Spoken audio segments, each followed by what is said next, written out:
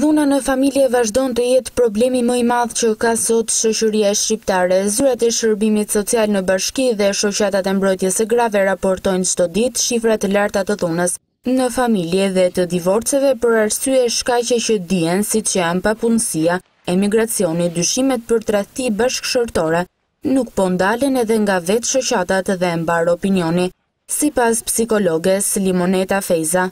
Gjatë kësaj periudhe edhe në zonën e Dumres ka patur dhunë në familje.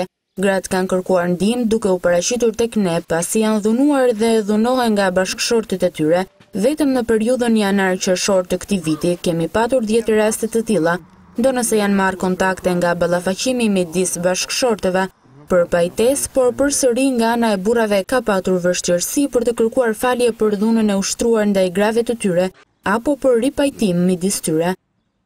Duke filluar nga muaji janar deri tani janë trajtuar afërsisht deri tek dhjetë raste, që janë raste të reja dhe i kemi ofruar disa shërbime që janë këshillimet psikologjike, është asistenca juridike, ligjore, e cila ofrohen gjitha falas, gjithashtu kemi edhe shelterin e emergjencës.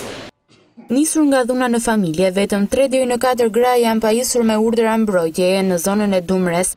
Gratë e tjera të dhunuara për arsyet e veta personale Nuk kanë pranuar urdhër mbrojtjeje.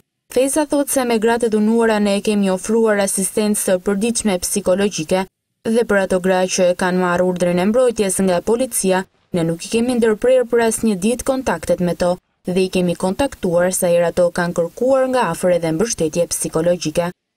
Kemi disa raste që janë në urdhër mbrojtje, i kemi marrë sa na vijnë rastet, ne i marrim, i ofrojmë shërbimet që janë, i regjistrojmë ato në sistem për të marrë pagesën që i takon nga urdhri i mbrojtjes, gjithashtu jemi në ndjekje të rastit me këshillimet që mund t'i duhen atyre dhe të gjithë procedurat që ato kanë nevojë. Jo vetëm në Belsh, por edhe bashkitë e tjera në qarkun e Elbasanit, dhuna në familje vazhdon të mbetet problem.